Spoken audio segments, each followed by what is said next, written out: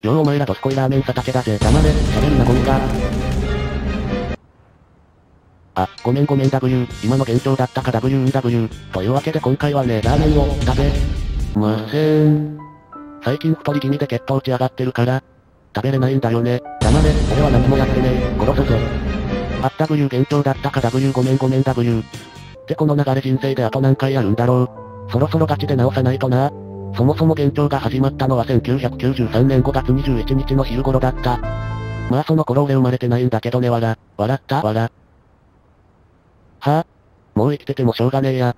どうせ死ぬなら最後にラーメンいっぱい食ってから死のう。死んじゃダメうるせえ俺の現状こそだ。ってラーメン屋の大将。どれ、俺がお前の現状直してやる。よー。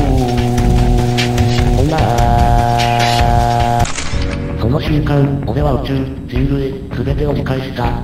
この世界に比べれば俺はちっぽけな存在だったんだな。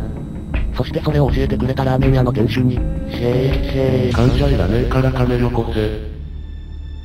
え？だからてめえ耳悪いの？日本語わかります？感謝いらねえから金よこせっての。あ、あ。はい、千円。千億円。え？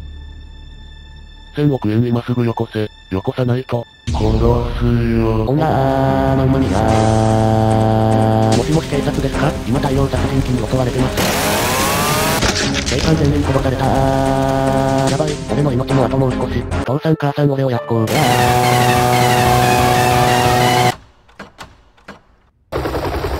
はぁ、はぁ、また人は辞めてしまった。今年に入ってからは辞めようと心がけていたのに、その姿は変プトリスカスよ。天に召される時間じゃ。ああ、そうか、俺もう死んでたんだ。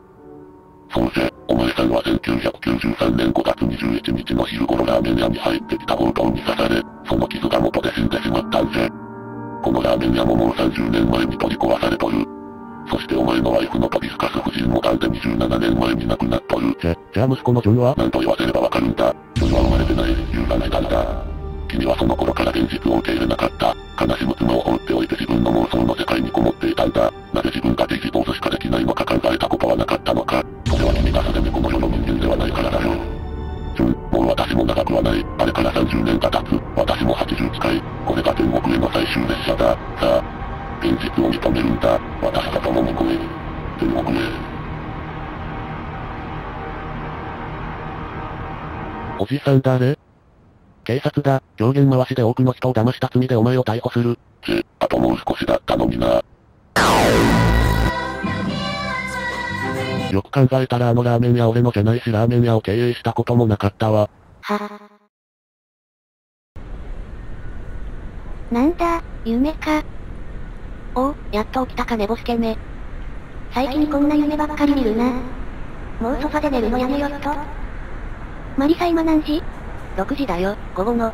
え、ちょっと待って私何時に寝た？朝の10時。嘘？